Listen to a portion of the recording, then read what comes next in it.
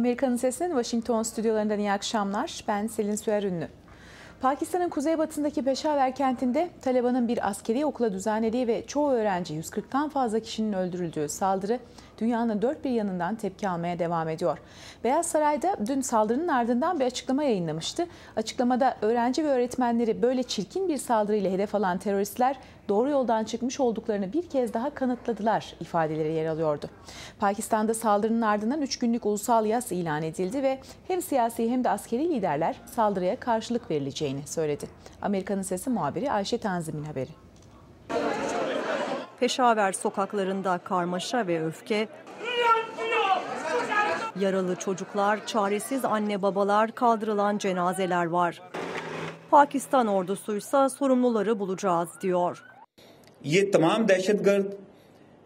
Tüm terörist ve terör sempatizanlarının, teröristlere yardım ve yataklık edenlerin, kısacası Pakistan'da teröristlere kucak açan herkesin peşinden gideceğiz. Peki Pakistan hükümeti gerçekten de saldırılara yanıt verecek mi? Saldırının sorumluluğunu Pakistan Taliban'ı üstlendi. Ancak Pakistan'da Taliban dışında birçok kökten dinci grup bulunuyor.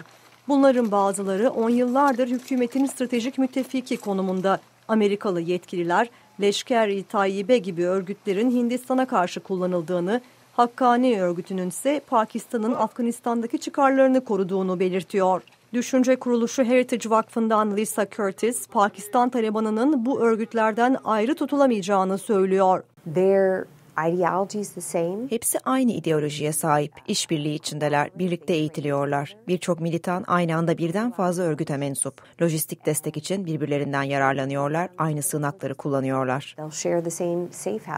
Pakistan ordusu tüm terör örgütlerine yönelik operasyonlar düzenlendiğini bildiriyor. Ancak uzmanlar ülkedeki ordu ve istihbarat unsurlarının bölünme içinde olduğu görüşünde. Hatta bu bölünme içinde kimileri Taliban'ı düşman, Leşker-i Tayyibe gibi örgütleri ise dost olarak değerlendiriyor. Washington'daki Orta Doğu Enstitüsü'nden Marvin Weinbaum, Pakistan'ın tüm kökten dinci örgütlere yönelik geniş kapsamlı bir operasyon düzenlemesine ihtimal vermiyor. Because they still are fearful Pakistan bu grupların birleşip sadece Afganistan sınırında değil, Pencap'ta da daha büyük sorunlar çıkarmasından korkuyor.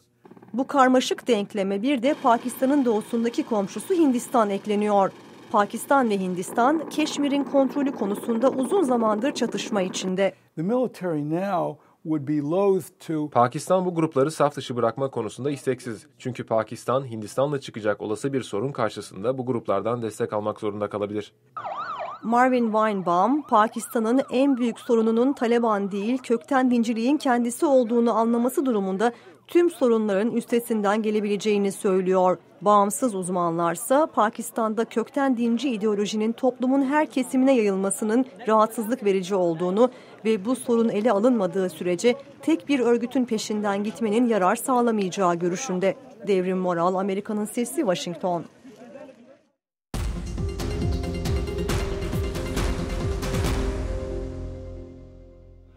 Dışişleri Bakanı Mevlüt Çavuşoğlu bugün İran'da mevkidaşı Cevat Zarif ile görüştü. Çavuşoğlu bölgenin istikrara kavuşması için İran'la ortak faaliyetler yürütme arzusundayız dedi. Bu arada P5 artı 1 ülkelerinin İran'la nükleer uyuşmazlığı çözme çabaları da sürüyor. Görüşmeler 2015'te de devam edecek ancak Amerikan iç politikasındaki gelişmeler yeni yılda anlaşmaya varma çabalarını zorlaştırabilir. Amerika'nın Sesi Dışişleri Bakanlığı muhabiri Pam Dawkins'in haberi. Eylül 2013'te Dışişleri Bakanı John Kerry, İran Dışişleri Bakanı Cevat Zarif'le İran'ın nükleer programını ele aldıkları ilk görüşmesini yaptığında bu iyimser tonda konuşmuştu. Şimdi ileri adım atabilmek için olumlu sözlerimizin eyleme dönüşüp dönüşmeyeceğini göreceğiz. O günden beri İran'la Güvenlik Konseyi'nin 5 daimi üyesi ve Almanya ile görüşmelerde bulunurken iki bakan birkaç kez daha bir araya geldi. İran nükleer programının barışçı olduğunu savunuyor. Bazı batılı ülkelerse İran'ın nükleer silah geliştirmek istemesinden kaygı duyuyor. Varılacak bir anlaşma İran'ı ekonomisine zarar veren yaptırımlardan kurtaracak. Ancak Ocak'la Haziran arasında bir dizi görüşmeden sonra taraflar müzakereleri 24 Kasım'a kadar uzattı. Ardından geçen ay görüşmeler yeniden uzatıldı. These talks aren't going to suddenly get easier just because we extend them.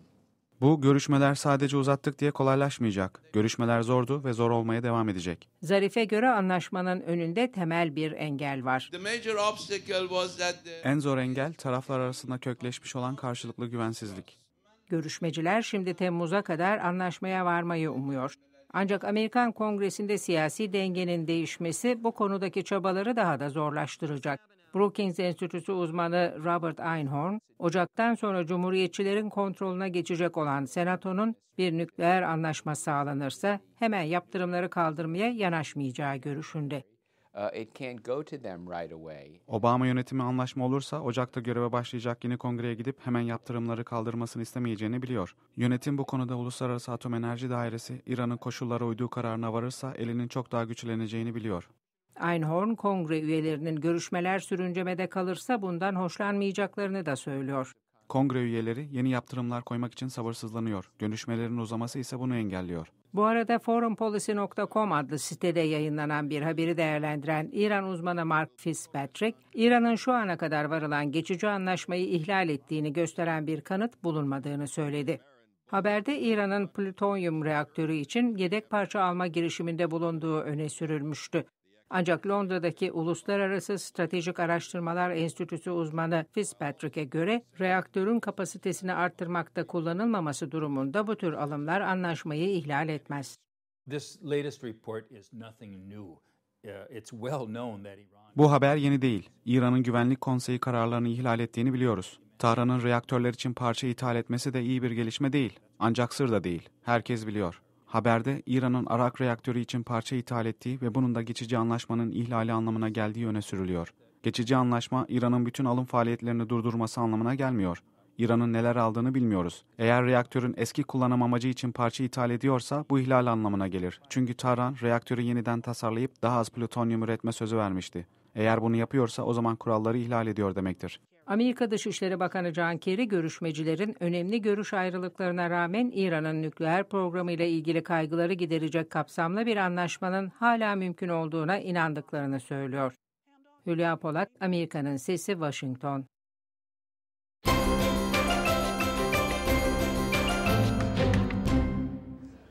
Rusya'da hafta başından bu yana sert hareketlerin yaşandığı döviz piyasalarına müdahale işaretlerinin gelmesinin ardından rublede toparlanma başladı. Son iki günde %20 civarında değer kaybeden ruble güne artışla başladı. Ukrayna krizinin ardından Batı'nın uyguladığı yaptırımlar ve petrol fiyatlarının düşmesinden olumsuz etkilenen Rus ekonomisinin 2015'te de zor günler geçirmesi bekleniyor. Zira yabancı yatırımcılar Rusya'dan kaçıyor. Ancak iktisatçılar Rusya'daki sorunların Ukrayna'daki olaylardan ve petrol fiyatlarının düşmesinden çok daha ciddi olduğu görüşünde.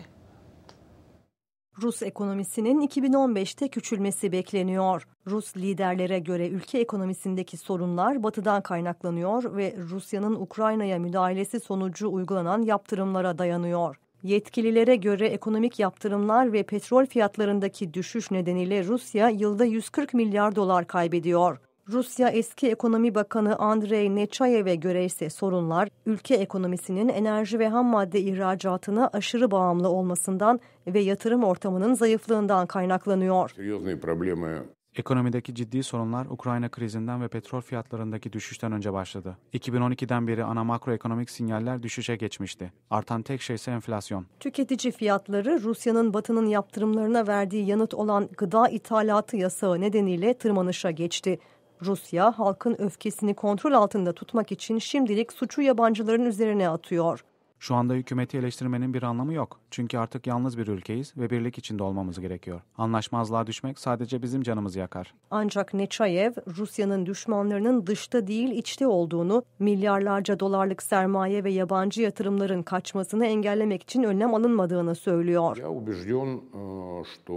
Mülkiyet haklarının korunması için çok ciddi reformlar gerektiğine inanıyorum. Bağımsız hukuk sistemi kurulmalı, ülkenin belki de en büyük hastalığı olan yolsuzluğun önüne geçilmeli. Nechayev kötü gidişata rağmen Sovyetler Birliği'nin çöktüğü zamanla kıyaslandığında durumun o kadar da ciddi olmadığını savunuyor. O zamanlar ekonomik çöküş çok ciddi bir sorundu. Rusya'nın kışı geçiremeyecek durumda olduğu yolunda çıkan haberler doğruydu. Açlık tehdidi, toplu taşıma sisteminin çökmesi, kaos, Yugoslavya'daki gibi bir iç savaş yaşanması tehlikesi ve işin içinde nükleer silahların olması hep doğruydu. Yani gazetecilerin abartması değildi. Neçayev'e göre böylesine derin bir ekonomik krizin bugün yaşanması için ham petrolün fiyatının varil başına 40 doların altına inmesi gerekiyor.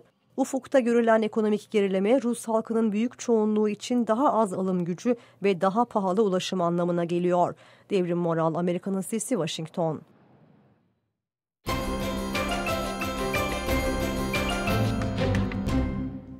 Almanya'ya yapılan sığınma başvuruları bu yıl hızla arttı. Ancak ülke her geçen gün daha fazla sığınmacıya kapılarını açarken ülkede bu sığınmacılara karşı tepki de özellikle aşırı grupların tepkisi de büyüyor.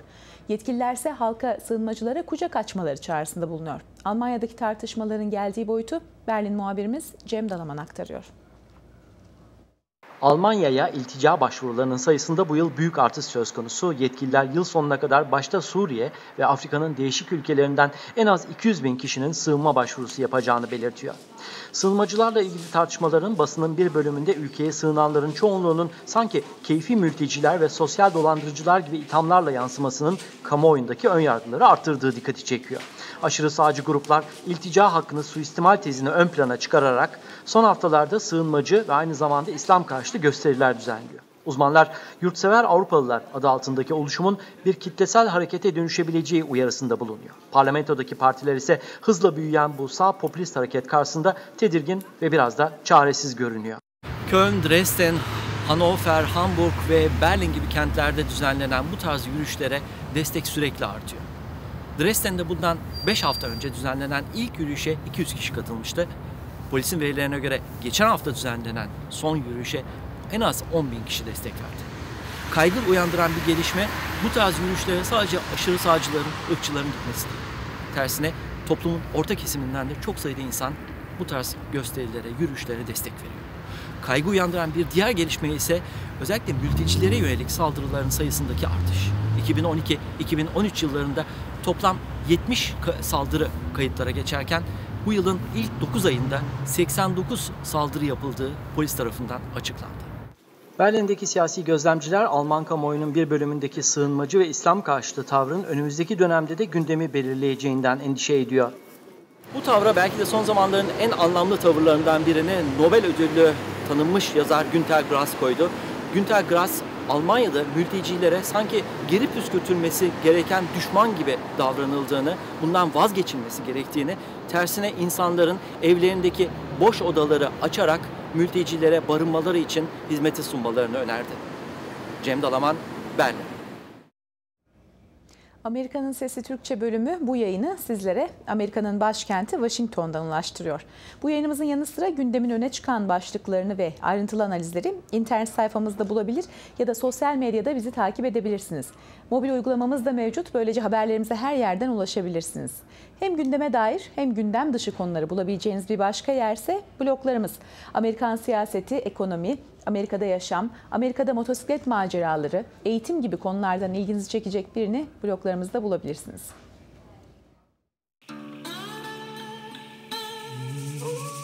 Amerika'nın Sesi 2015 takvimleri hazır. Elimizde sınırlı sayıda olan takvimlerden istiyorsanız tek yapmanız gereken ekranda gördüğünüz amerikanınsesi.com adresinde bulunan formu doldurmak. Amerika'dan birbirinden güzel görüntülerin süslediği 2015 takvimini beğeneceğinizi umuyoruz. Amerika'nın Sesi Türkçe yayın bölümü olarak hepinize mutlu yıllar dileriz. Washington stüdyolarımızdan yaptığımız Amerika'nın Sesi Türkçe bölümünün yayını burada sona eriyor. Haber ve söyleşilerimizi internette amerikansesi.com adresinde bulabilirsiniz. Yarın yeniden görüşmek üzere, iyi akşamlar.